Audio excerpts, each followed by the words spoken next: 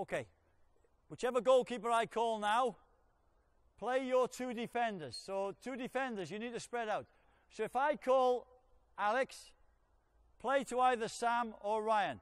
Now you two can break out now into that half. Now we've got 3v2 in here. Now you two in here can stop and playing centrally. You can stop and playing centrally so you can work really in this grid. If he plays there, bang. Okay, now you've got 3v2. 3v2. So you're looking to get combination play. Fantastic. Tremendous. Great strike. Great strike. Now hold it there. If the defenders get it, the two yellows that came out of here quickly get back in here. Defenders, as soon as they get a touch, you cannot tackle them except for the striker. Two greens now in there. Two greens now in there. Now we're looking to play out from the back. You can switch it to Connor. Fantastic. Now hold it there. Stop it there. We need now some movement in here.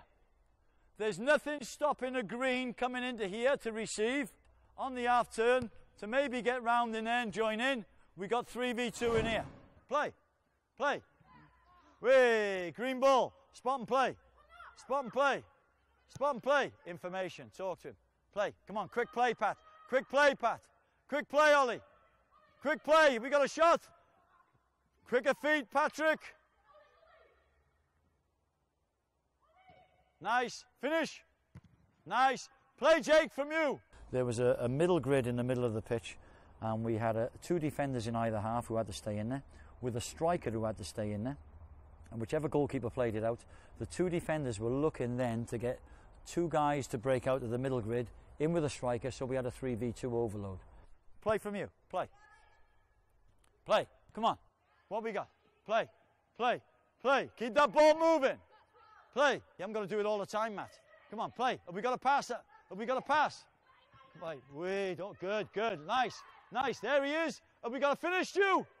Cross goal for your mates. Wait. If defenders get it, you've got to go back in. Stay out, Sam, just in case you need it. Lovely ball, Ryan. Lovely ball, son.